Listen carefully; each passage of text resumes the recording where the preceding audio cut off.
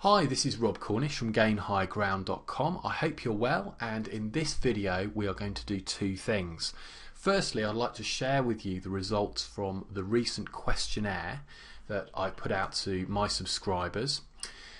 And secondly, I'd like to show you a few ways that you can actually use questionnaires uh, for yourself to gain a real invaluable insight into your market or whatever market you're going to go into in the future. Um, th th there's really some such good uh, kind of uh, mining, data mining, if you like, you can do with questionnaires um, if you set them up right. And I'm going to show you how to do this completely for free. It hardly really takes uh, much effort or time at all either. So let's get started. And the first thing we're going to do, like I said, is actually look at some of the results that I, I've had um, uh, in the questionnaire that I created. So um, what I've done is actually created this questionnaire in Google Drive. Um, now, actually, Google Drive um, is the kind of new name for Google Docs. So when you log into your Google account, um, you'll you, you might see Docs up here at the top, or if you don't, then you can add it with the More button here. If you just come down and add it, or go to Even More, you'll be able to get that set up. It's all totally free. But for me, I've kind of upgraded, if you like, to uh, Drive, which again is free. It's just the new version. So let's click there first of all. And you'll see I've grayed out some of these uh, documents just because it's they're actually shared with private clients and so on, so uh, it wouldn't be fair to them. But the most important one is right here at the bottom, which is Gain Higher Ground subscriber feedback. So let's click into there and I'll show you um, some of the results. Now what we're looking at is a spreadsheet, a Google spreadsheet, and this contains the actual individual results uh, from all the people who actually uh, filled out the questionnaire. Now, obviously, you can actually just look at the individual responses, but what's really good about um, uh, this Google application is that you can actually uh, get a summary, a really nice graphical summary of all the results. So if I go up here to form and I can come down to show summary of responses, so I'll click there, you see a new window pops open and you can see so far um, I've got 244 people who've taken the time to actually fill out my questionnaire and submit it. Um, that's I probably sent this out uh, I guess just under a couple of days ago. Um, so this is still rising but you know I think at 244 that's uh, more than enough we need to be kind of statistically significant you know and get some meaningful information. So let's go through and I just want to point out a few things that I think you might just be generally interested in and I'll also make a few comments um, uh, about these results and what they might mean in terms of an interpretation. So first of all, what is your age? You can see uh, there's hardly any uh, kind of really young people um, it, um, that have filled this out.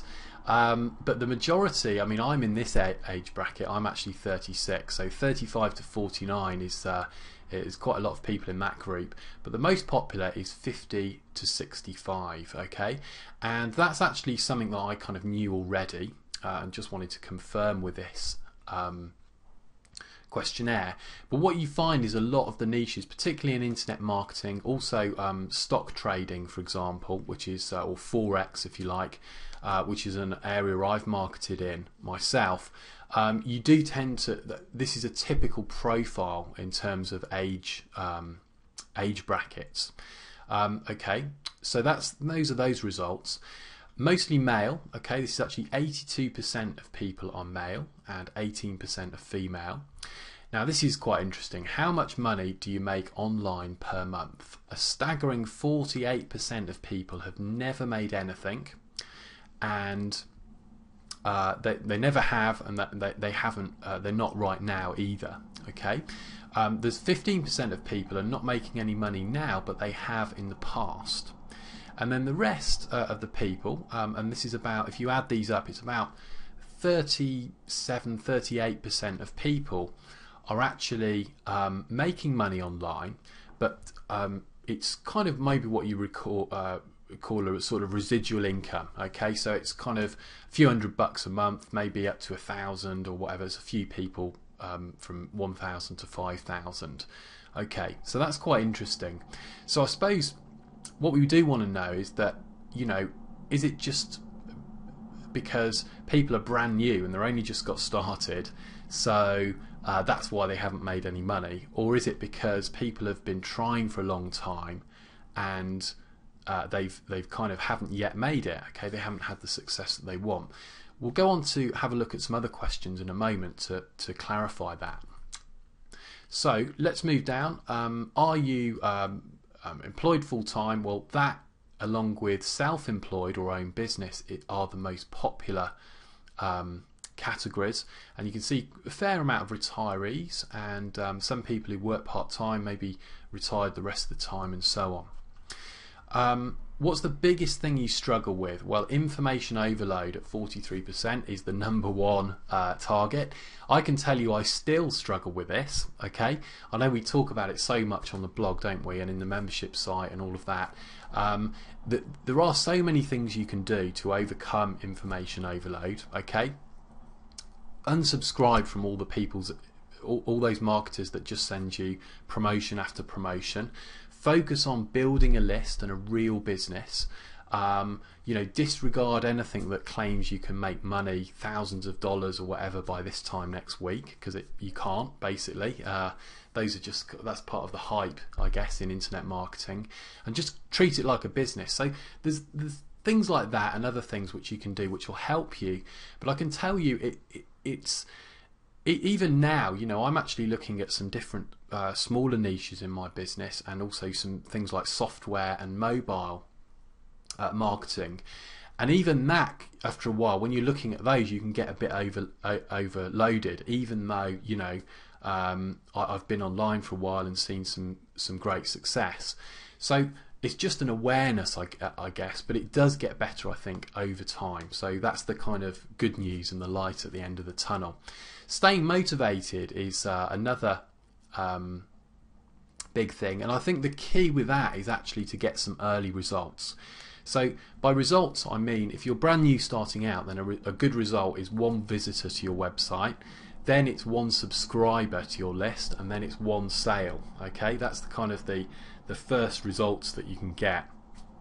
And I promise you, even after you made your first sale, um, that that really is incredibly motivating because you actually it's nothing like it. You've actually seen that it can be done. Okay, even if it's just like a, a couple of dollars or five dollars or something, uh, it, it can be really motivating. and then as you move forward, you can actually then uh, build on that success and those early results and you get even more motivated and that's certainly what's happened to me and I, I definitely get that feedback from other people who you know have been through this uh, you know as I have as well and uh, as as you are as well of course so how long have you been interested in internet marketing this comes back to the other question if you remember um, when we saw that um, I think it was what was it 48% of people have never made money online. So we were saying, is it just because they're brand new or have they been trying for a long time and not yet had that success?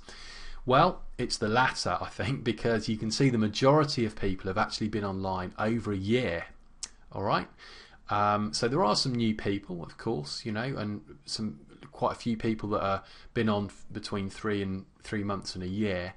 But obviously, there's something going wrong there because people have been um, online for you know quite a bit of time, and maybe that that information overload and uh, and the motivation issues are kind of dragging them back from that success. Okay, um, and by the way, another thing that's really bad to do, as you probably know, is just buy one product after the other. Okay, throwing money kind of scattergun at the problem is, is, is very unlikely to yield results. So yes, you do need to invest, and um, investing in good solid training is very very um, you know is a great idea but make sure whatever you do just make sure it's really targeted and it's definitely something that you can follow through on. That'll that alone will really increase your um, chances of success there. Okay let's move on. Um, what's your income goal? Uh, this is quite interesting because the majority you know look there's an over 10 grand a month here and a few people have picked it. In fact that's 4% but um, not everyone is saying, you know, look, I want to earn millions and loads of money. Okay, most people um, the most popular response is actually in this bracket $2,500 to $5,000 per month. And I think that really makes sense when you consider the answer to the next question as well, because look, 73% of people are more interested in lifestyle than money. And I love both. You know, I've always said this. Um, you know, since I started, that's why I came into it because I want to make money. Of course, we all do, but I also want nice lifestyle because the jobs I had in the past, I loved all of them. Okay, everything from working in the factory or the petrol station I worked in for six years, or um, when I was uh, an investment analyst or work uh, worked in uh, fund management as well. All of those jobs, whatever it is, um, I always enjoyed all of them. Okay. Um, but th- what I didn't like was the regime, the nine to five regime, or in my case, it was seven till six. The last job I I, I actually uh, had. Um, so money's not the only thing and that's really interesting isn't it that most people are after the lifestyle and look you know it is it's it's about a residual income or, or an income replacing uh, income that maybe you can move away from your job or um, just go part-time or just have a more flexible lifestyle so very interesting stuff now this is good please choose two topics that you would most like to learn more about okay so what are the most popular ones? List building. Very pleased to see that because that is the number one thing. Okay, look at anyone who's successful online or offline. All the businesses they all have a database of prospects and customers. It's so important. So I'm so pleased to see that that's the number one response there. That's great news.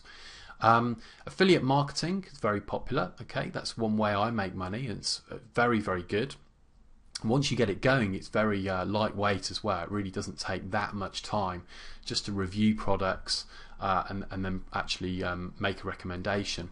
Product creation as well, I'm pleased to see that because that is a very rewarding process uh, in terms of you creating something out of nothing. It's a really sort of, it's like kind of quite wholesome, you know. It's a it's a good feeling when you go through it, even though you might be a little bit daunted before you do it.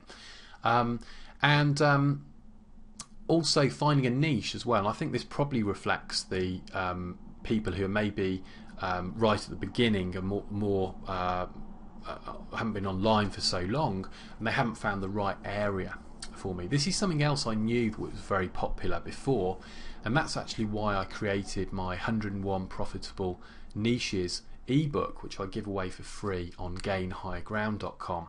Um, so, so again, I hope you can start to see now how feedback from um, your subscribers or from visitors to your website can really give you um, some good ideas and inspiration on what to create. So it's really targeted and you're really delivering kind of the value that people want. Now, the only other comment I'll make here is I'm very pleased to see SEO was the least popular um, uh, response. And I think um, if you'd have done this, if I'd have run this, say, two or three years ago, um, well, three years ago was before I kind of started really, but um, I wasn't online then. But but you know, if you did it three or four years ago, I think SEO probably would have been the number one.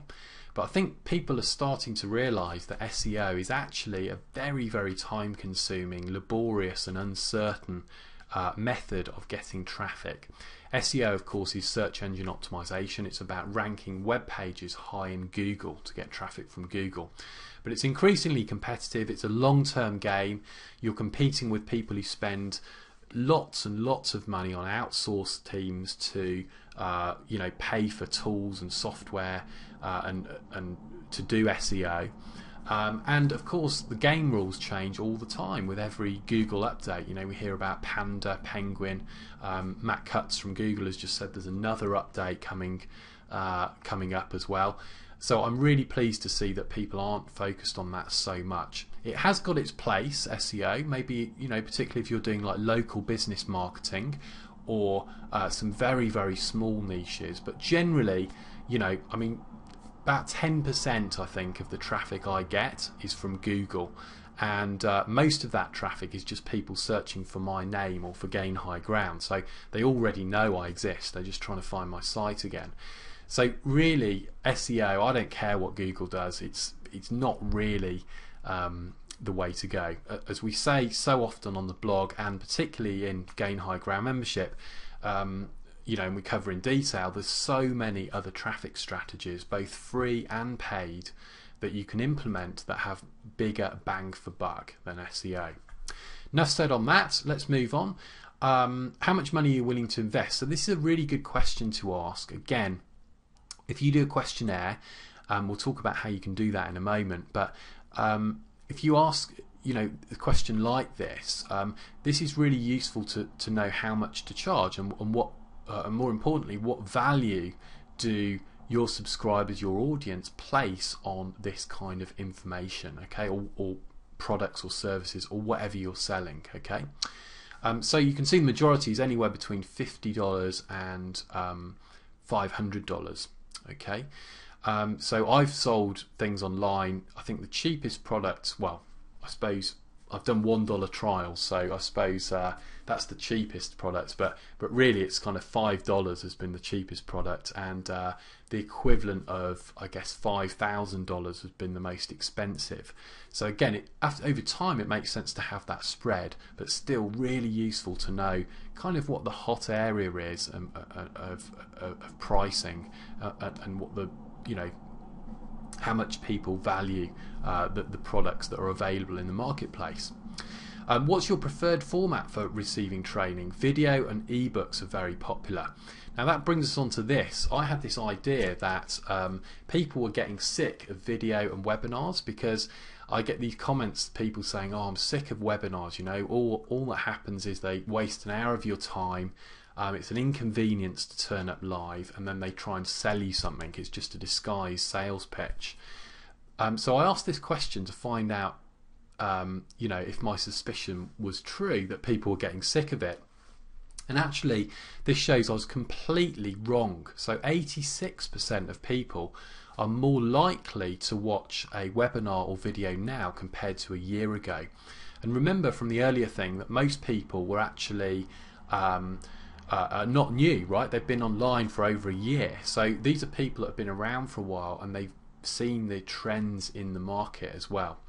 Again, a lot of people say ebooks are dead. Okay, don't bother doing an ebook. You can't do that. But look at this: seventy-six percent of people say they're more likely to read an ebook or report compared to a year ago. So I hope you can see again questionnaire is so important because you you or I may have ideas but they could be completely wrong. And it doesn't matter what you and I think it matters what the you know you, the audience thinks.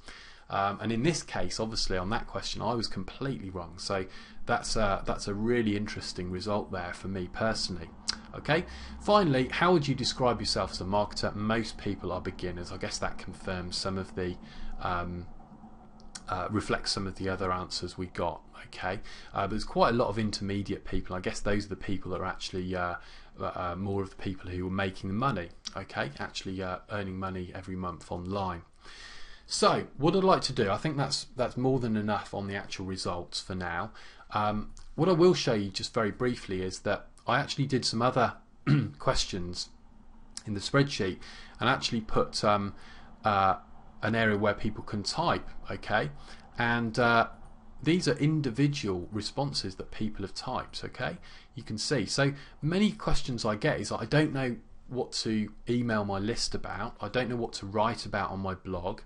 Um, I don't know um, uh, what product to create, and, and it's a real issue, you know. Um, but look, if you have a questionnaire like this, look at how much information I've got. I've got so much information. Um, people um, have told me exactly what their ideas are, you know, and you can actually just go through um, uh, some of these and just get that more, way more ideas than you need. So it's a brilliant way of brainstorming. So what I'd like to do now is actually show you how to um, uh, basically uh, set these up. So the first thing is to um, you, you, can use other systems like SurveyMonkey is very popular. Okay, so you could definitely check out that. I've chosen to use Google Drive, and in particular, if you go to Create once you've got this set up, remember this is all completely free. Go to uh, Forms. Okay, just select a form. Okay, and we'll give this um, a title here, sample uh, questions we'll call it. And let's just do we'll just do an example so I can show you how it works. So um, are you male? Whoops. Or female? Okay. And then let's have this as multi-choice. So you can see you can do different styles of uh, uh, or different types of questions as well. We'll do multiple choice. Uh, we'll put male. Uh, and then below here we'll put female and obviously, you know, some markets are, are much more dominated by um, females than males. So again, it's a really interesting thing. What you get, you can get totally different results compared to uh, the ones that I've just just seen. But it, anyway, this is how you create your questions. That's the point. I'm going to click done here, and up at the top right, I can go to save. Okay, and if we just go back now to my drive if I refresh, you can see that we've got sample questions. All right, so if I click into that, what happens is you get taken through to the spreadsheet, and this is, as you've seen in my um, questionnaire that I actually did for real, you can see that um, these are the actual questions uh, that you you get, uh, or, or, these will be the individual responses. What you can also do is if you come up to form uh, you can do a couple of things. You can um, show summary of responses and that will give you that graphical representation, all the charts and everything automatically generated okay, for you. So that's really good. Um, and also, if you go to form and go to live form, that will show you how the form actually looks. So you can see we've just created this uh, questionnaire. So if I go mail here and then I click submit, okay, your response has been recorded and we could go back to this questionnaire. You can see the spreadsheet has filled out. And if I go up to show summary of responses hopefully there we go. We've got a chart already. And 100% of people there's only one which is me is saying they're male so you can see it's really simple to set up. It's totally free. And what you can do you could put this uh, you, you know once you've once you've done this, by the way, um, if you go to uh, form and go to live form, just take that URL, this web address, and promote that. So when I say promote it, I mean um, if you've got a list, you will email it to your list. That's how I did it. You could put it onto your website, okay, give visitors to your website a chance to fill out the questionnaire. You could put it on Facebook or Twitter. Um, really anywhere um, that you've got. You can put it in the uh, download page of a product that you're selling. Okay, um, you could put it in uh, as a link in a, in a guest post that you do. Um, but a really good idea, and this is what I was referring to right at the um, uh, beginning. This is actually I, I, used to do this actually. Um, I, I, tried it out for a while, not with a big questionnaire, but with um, just a, an email response. What you can do is put this in your autoresponder sequence. So think about this. People join your list and then maybe after say uh, a couple of days they automatically get delivered the email which says hey could you uh, help uh, help me to help you so I'd really like to understand um, more about you and what I can do to help you please take a moment to fill out this questionnaire you send them to this link they go through to your questionnaire and they fill it out. Obviously, not everyone does because it takes a bit of time and effort. So you'll only get a small percentage of people um, actually who do it. Um, but over time, um, you'll start to get a build up of responses as more and more people actually uh, join your list and, and actually fill out your questionnaire. So when you're short of ideas on products, on blog posts, on what to write in emails or whatever it is, what you can do, you can just come into Google Drive, you can um, open up the, uh, the, the results to the questionnaire, see how many new um, responses you've got, and just scan through them, and you've got the ideas and the inspiration there. And this is not out of a textbook; it's not from some, you know, MBA marketing consultant. It's not from uh, me or from your you know your friends down the pub. This is real people the real audience and what they want. And that's why it's so valuable. So there you go. I hope that helps. I apologize for the length of this video but um, hopefully that's given you some ideas. And remember To set this up, I've just shown you a very simple example in the in, in the video. It's free. It will take you maybe an hour or two the first time you do it. I think the one I did probably took me like 40 minutes or something. Um, and once it's done, if you put it into your autoresponder sequence, um, people will like you, your audience will like you because um, you're actually asking for their opinion, and uh, people generally like that. Many companies and businesses don't bother to do that, and you'll get some really, really super valuable market research feedback.